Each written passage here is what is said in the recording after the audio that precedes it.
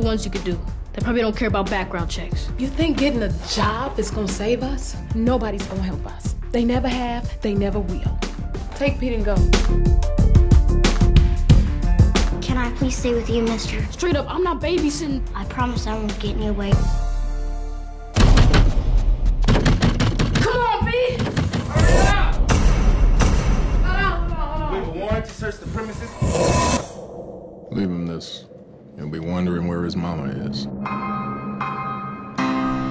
Tell me where am I supposed to go? Insufficient funds. Just give me back the car. I think I'll give it to its rightful owner. But it's my mom's, yo. Leave before I call the police. We can't tell anybody we're on our own. That's my mom's friend. He's not her friend. You know him? My mom works for him. Your mom works for him. That's how they know each other. Hey, man, What's up? you see my mom? When you find her, tell her come see me, all right?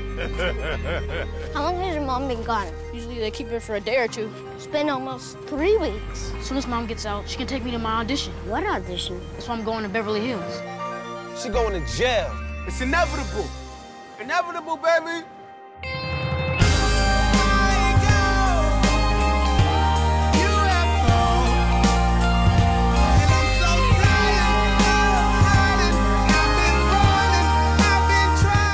Prepared to run. If housing authority catches us out here, that's a wrap.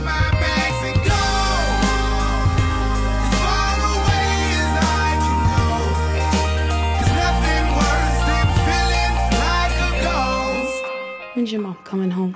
They let her out of jail over a month ago. If she was coming back, she probably would have by now. Jennifer Hudson, Jeffrey Wright, Anthony Mackie, Jordin Sparks, and introducing Skylan Brooks and Ethan Dizon. I'll be back for you. Promise? I promise. The inevitable defeat of Mr. and Pete.